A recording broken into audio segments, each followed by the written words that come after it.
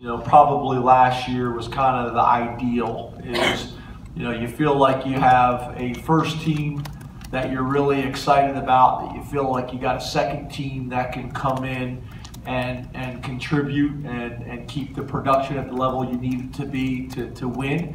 And then you have a third team of young, exciting guys that you're, you're, really kind of looking forward to see what they're going to do in their future. That you, know, you, look down the depth chart and you say, you know what, I, I, I'm really excited about these young players. And you want that at every every position. You want a starter, you want a backup that you feel like can um, can get some reps and, and keep guys fresh, and also make sure that when he does play, that the production stays at a similar level. And then you want a young, exciting player that's coming up behind him and developing. Um, and working on some of their weaknesses, whether it's you know physical things that they need to work on, emotional things, mental things, whatever it may be. Um, you know, Juwan is a very mature kid, uh, very businesslike with his approach. Got a lot of ability, got a, a huge frame. Um, you know, comes from a football family. You know, his brother plays in the NFL, so I think you know those guys like that. They've learned a lot of football by just being around it.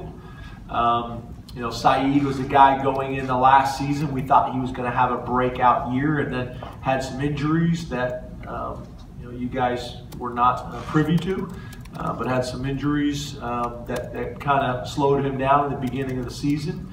Um, you know, and you know, I, I, expect the same thing. I expect him to have a huge spring and a huge off season and go and have a, a monster year this year and stay healthy. Um, and then Irv's a guy that you know, um, has got a lot of ability, um, as much ability probably as any guy that I've been around um, in college. You know, um, you know, him and Juwan are, are very similar um, in that way, and he showed some some real strong flashes. And I think what you're looking for in all young players is consistency.